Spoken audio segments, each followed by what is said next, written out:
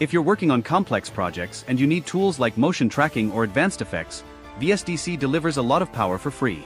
Conclusion The world of free video editing software is broader and more powerful than most people imagine. From Hollywood grade tools like DaVinci Resolve to beginner friendly apps like iMovie and OpenShot, there's an editor for every type of creator. If you're chasing cinematic precision, DaVinci Resolve is unbeatable. If you want action packed effects, HitFilm Express has you covered. If you're training for the professional editing world, Lightworks is the perfect stepping stone. For open source lovers, Shotcut and OpenShot provide flexibility and freedom. For Mac users, iMovie makes editing simple and seamless. For Windows creators, VSDC offers surprising depth and advanced tools.